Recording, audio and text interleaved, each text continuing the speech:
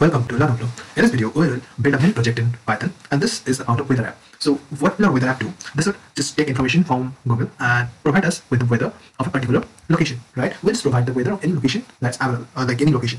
So, we'll do this with the help of uh, Soup uh, library, and this is basically the scraping of data from Google that Google provides us uh, when you do the normal Google search. Okay, so that's the thing we'll do in this program. So, stay tuned and look how we'll build a mini project of a weather app, a weather weather at any time the app that gives us the weather. And at the end, I will tell you what are the ways you can improve this app, what are the things you can do to just uh, make it more useful, uh, make it a whole project, right? So without wasting any time, let's begin. So just to start with, first of all, we would need a beautiful soup for us. So uh, if you're not aware of beautiful soup, just go ahead and search it what beautiful soup is, and well, you can find out more about it, right? So we'll say uh, from BS4. So BS4 is actually the library that has uh, Beautiful. The Beautiful Soup is a part of uh, BS4 library. We'll say from BS4 import Beautiful Soup. We got our soup we imported, and now we need to we need what we need requests to send requests to our browser uh, or to send requests to our um, servers or request to the websites to get the information. Right. That's the thing we need. Then uh, so let's say import request. We got our requests. All right. Now we will start creating the weather app. So let's say def uh, we'll say weather. So we're just creating a function weather. And we just pass the city to it. Uh, let's uh, uh, if this is our exact structure of the weather app then uh, then we can do okay so this is what now i'll just describe the function a bit later. Now let's try to get our inputs and like pass data to the our function right? So for that we need to get our city name as input. So let's take the city name as input.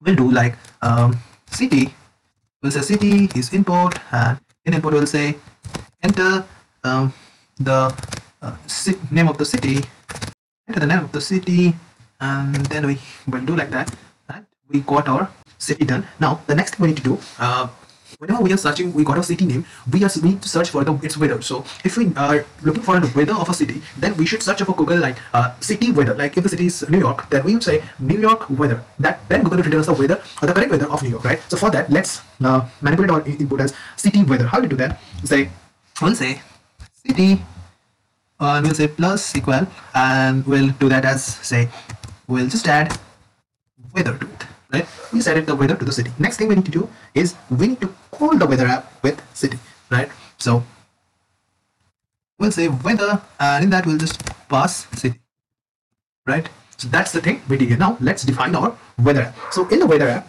look here uh, we got our uh, weather like we got a city name and weather but uh, this is there's a space in the uh, name. Like if the name is New York, then New and York there's a space in it, and and a space another between York and weather. So what will we do?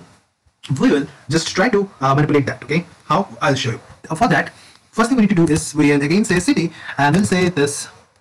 We'll just uh, sorry.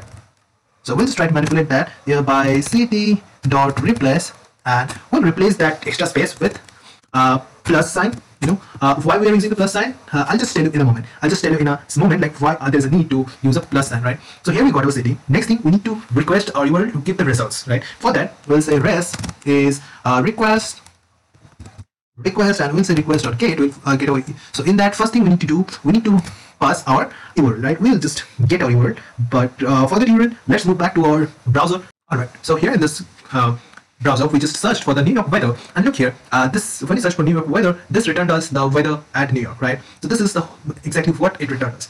All right, we got our results. Now we need to use this. Okay, look in the URL here. If we just look in the URL, this is google.com slash stars slash q, and in that say new plus York plus weather. So what this plus is, this is basically the space between the new space York space weather, right? And they again say uh, and OQ equals new plus York plus weather, and the rest is rest remains same. So let's copy this, and let's copy this and move back to our editor. Alright, so here in the editor, we just patched this, okay? We got our uh, exact weather. Now, uh, but this is this became exactly for New York. We need to modify it with regards to our city, right? So if we need to modify it with regards to our city, let's do that like this was the thing we don't want. So this is the thing and we'll say city. Again, here is a similar thing and we'll say city. So this is the thing that we need to change within our web, uh, website, like the exact URL. So after that, we need to say uh, header so we got our headers here and in this request URL our header is done. Okay. So we got our headers. Next thing we need the to prepare our soup to get our data. We need the data right from the URL. We got a URL now. Let's get our required data from the URL. So for that let's build our soup. So we'll say soup and we'll call beautiful soup. Beautiful soup and we'll just pass this uh, this res. We'll just pass this res and we'll say res.text And after that, after we just got our rest of text, we'll uh, make it as an HTML parser. Or we made it as HTML parser. Now, now we need to select our. Uh, let's see what else information we can get from uh, our weather, like from that uh, Google, like from this exact website, right? So for that, the first thing we need is our weather. So we'll say weather, and in that we'll just uh, we just created another uh, variable weather, and we'll just uh, ask also here so soup, what will soup do? Soup dot select and we'll just select the exact ID of the data where or data is. So soup should select and then we would require uh, its uh, text, right? So we'll say get text and sorry, get text and this will return as a, a get stressed and we'll just strip the data. I think we'll, we'll be done with this. So let's get and uh, find our exact ID for the weather, right? Uh, move back to the browser. Let's see, we need this data, right? 3 degrees Celsius and Fahrenheit. This data is what we require. So uh, let's inspect element and you will find out what you need. So let's inspect the elements and what do we need here? Look, this. This is 3. And what is the class WOBTM, right? So move back to the editor.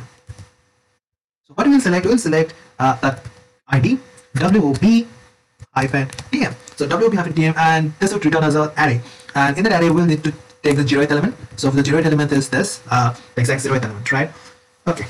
We got our weather wait if we're building this then i think we can print this here uh, about the weather. Though in this video i'll try to improve a lot in this. I'll try to uh, make much more edits further. So first look here and try to print this weather. So for that we'll say weather and just say weather plus degree celsius.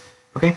So that's the thing we would need here and and it's done. Right? Uh, let's try to run our app and see whether it runs good or not. After that we'll try to make some changes to it. Mm, just a second. Yeah i think it took. So if i give a location like kolkata then then what it returns it gives me 17 degrees celsius. Yeah okay. This is fine. And that means our app is running well and good. Okay now let's uh, try to improve it uh, move back to the browser and try to find out what can be improved in it. And the weather we, we what we need to do we need to put the exact location. Uh, it looks good right? What else it has given us? The time exact what time the weather are we looking for? And this is important the exact information about uh, the along with the uh, temperature. So weather is basically temperature and the uh, nature like the current weather is cloudy or the, the, that kind of thing is required. Then we can print these things too precipitation humidity what else is there okay? So that's the whole thing we need to or we can add. So let's add it all of them one by one okay? So first uh, if we just look here uh, just click X, yeah. We got the New York is uh, like the, there it's an IDWB LOC okay? Let's go back to the editor. Uh, one, one. let's print all the weather data we have. On that we'll first try to print the location. So the LOC is uh, location is with again do the same thing. So dot select and within that we'll just print this WOB LOC. And this was a location ID, which just now did, and next we'll just print take a element of the array, and after that we'll say get text of that element, and I will just strip the text, right? So we got a location. Next thing we can get the time. So the time was written there. So for that again, this was the same. So dot select, and we'll just get this value. We'll say zero element dot get text dot strip. Okay, then we got time location, and oh wait, if I think this should be weather, and this should be our uh, temperature. Okay. So weather is again the similar thing. So dot select and we'll just get this exact ID and we'll just say zero element and then we'll just say get text and we'll just say strip. Okay. So we need to get the ID of time and weather. So let's go back to editor and get those two. The time. So here, wait, this, this is this is the time and this is the time. This is WOBDTS. Moving back, time is hash WOB underscore DTS and we need to find this weather thing. This weather thing is the next line. So this is WOBDC. Moving back, this is again WOB underscore DC. Okay.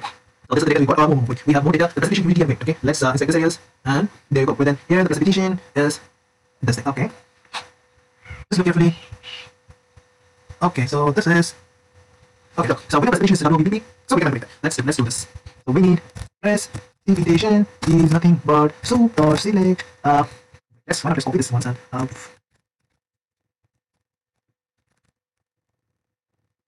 Thing that we need to do. We need precipitation, humidity, and this is the single thing. After that, we need wind, and again, we need the uh, same thing. Now, let's let us print all of this. Okay. So precipitation is WOB underscore PP, WOB HM, and WOB WS. So S, WOB underscore PP, WS is HM, and SP. So this should work. And now, let's print all of this. So let's print all of this. Print. So we'll say LOC, then we'll say print. Then we need to print the time then print we need to print weather then print and we need to print temperature print precipitation then we'll print mm, we'll print humidity and we'll print we'll print weight okay wait, just look carefully in the uh, precipitation just print just print just print something power right this is what we need to uh, write this data precipitation uh, humidity this need to add so let's add those here we will say precipitation so here precipitation is this so location is this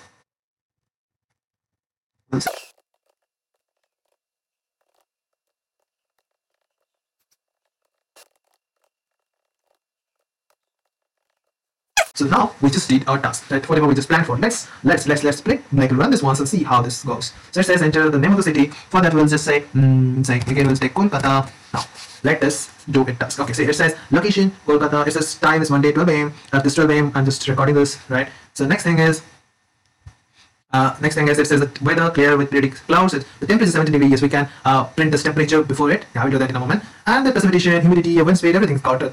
We got everything written, right? Yes, yes. So finally, finally we uh, did it, right? So, so finally, this is done.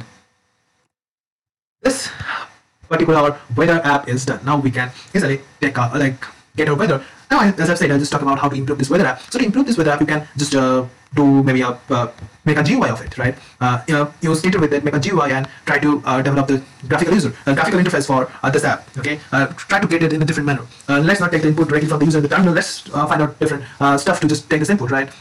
So I hope I can make you understand how you can develop this weather app, right? So thank you guys for watching this video. Hope to see you soon in my next video. And make sure to just like the video, comment on your thoughts, and share it with your friends so that you can, so that everyone can learn from it, right? Thank you, everyone.